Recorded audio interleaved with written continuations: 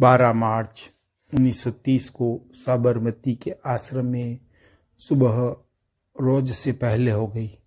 इकसठ वर्ष के गांधी जी प्रार्थना के लिए निकले। पंडित खरे ने गीत गाया। सुर संग्राम को देख भागे नहीं। देख भागे सोई सुर नहीं। फिर अठहत्तर लोगों की टोली निकली। सविनय अवज्ञा करने। अंग्रेज़ों द्वारा नमक बनाने से रोकने के कानून का विरोध करने। ये कानून नमक बनाने का अंग्रेज़ों को एकाधिकार देता था। इसके पहले गांधी जी ने पूरा घटनाक्रम बताया। उन्होंने कहा, मैंने घुटने टेक कर रोटी मांगी और बदले में मुझे पत्थर मिला।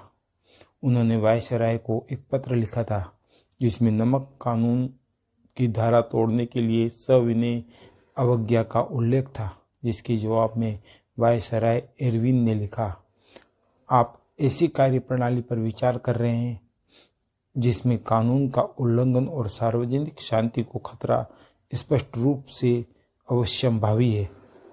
इसके बाद इकसठ वर्ष के गांधी जी 12 मार्च को प्रार्थना सभा कर दांडी मार्च के लिए निकले।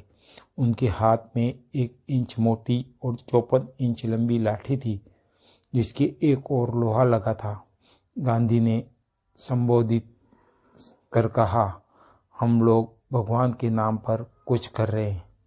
इसके बाद, चौबीस दिन चलने के बाद, तीन सौ अट्ठावन किलोमीटर चलने के बाद, रोज़ाना 16 से 20 किलोमीटर चलने के बाद यह यात्रा 6 6 अप्रैल 1930 को दांडी पहुँची, जहाँ गांधी जी ने नमक बनाया। और अंग्रेज़ों को कानून तोड़ा।